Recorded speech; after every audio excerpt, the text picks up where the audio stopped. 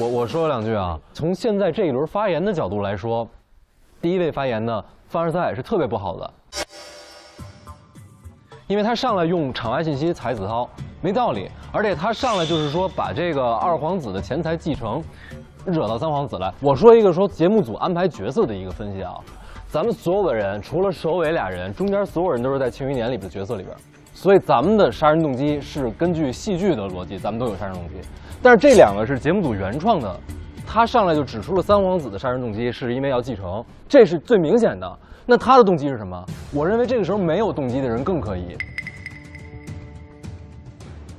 他毫无动机，而是上来去去一个用表面动机去踩一个人，就是这特别不像一个好人。子韬，你清醒点 又开始上听了，你知道吗？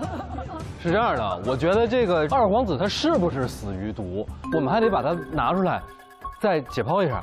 万一他是死于说突然想起高兴的事儿，然后就心梗了，心梗对吧？也可能是血栓引起的。对，所以说死因不明和这个具体是哪几个人干了，是不是一个人干了，这都不明。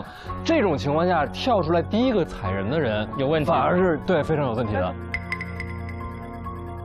我先跳一下啊，我下毒了的。嗯哦。但是我跳，但我认为绝对不是我杀的。我认为这个最终十二人凶绝对不是下毒这么简单。首先呢，这个下毒这事儿他得看剂量，对吧？这个他是到达致死剂量得他得是看最后一杯，所以就是我我是第一个敬酒的，我明确我后边的所有人不肯定不是都给的水。最后一杯费姐啊，费姐，费姐你最后一杯吗？是我。压死骆驼的最后一根稻草。